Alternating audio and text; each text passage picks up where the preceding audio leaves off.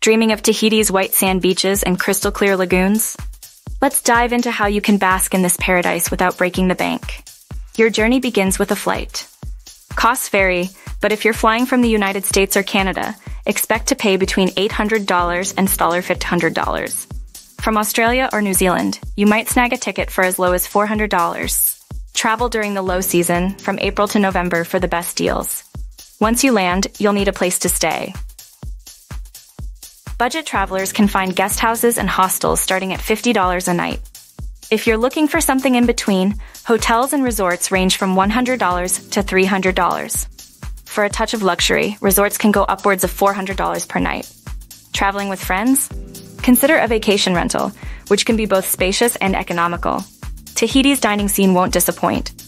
Local restaurants offer meals starting at $10, featuring delicacies like poisson cru and chicken fafa. For a more upscale experience, expect to pay $30 to $100 per person. Craving international flavors? French, Italian, and Japanese cuisines are also on the menu. Exploring Tahiti is easy with various transport options. Rent a car for around $50 a day for ultimate freedom. Buses are a bargain at 150 a fare and taxis start at $3, ticking up with distance. Adventure awaits with activities for every budget. Snorkeling and surfing tours kick off at $50, while cultural experiences like Pearl Farm visits or dance shows start at the same price. Want to island hop? Boat excursions begin at $100. Good news for US and Canadian citizens. No visa is needed for stays up to 90 days. Others should check with the French embassy for requirements. To keep costs down, book early, especially outside the peak season. Look for discounts, choose budget accommodations, dine locally, and opt for public transport.